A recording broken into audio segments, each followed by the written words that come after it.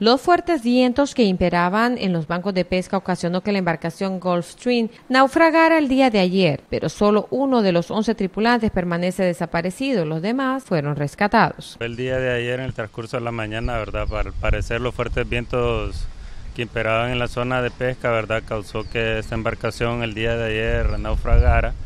Eh, por los momentos, ¿verdad?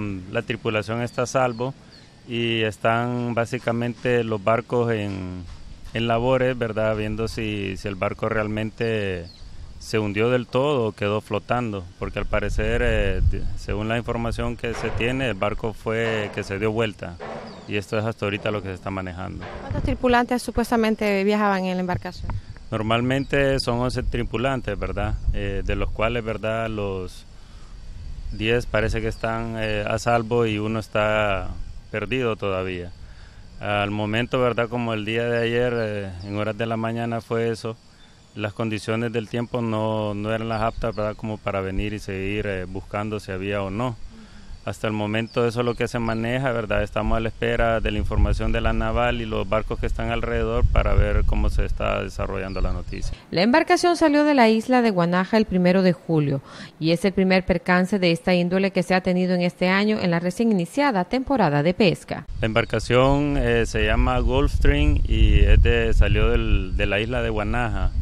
El propietario, ¿verdad? Eh, Mr. Charles Haylock de lo cual pues él ha estado ahorita en comunicación, eh, viendo de qué manera, ¿verdad?, se logra solventar toda esta situación, porque definitivamente es una gran pérdida como para él y como para la industria, ¿verdad?, este tipo de situaciones que se den en alta mar. Los datos sobre el naufragio de la embarcación son escuetos, pero la Dirección General de Pesca y Acuicultura está recopilando toda la información posible. Definitivamente, y, y la verdad que que es una inversión, cada, yo pienso que cada dueño de embarcación para poner a tono su, su embarcación y mandarla invierte lo menos un millón y medio de lempiras y es una cantidad considerable, ¿verdad? Así es que es una pena y una lástima para nosotros.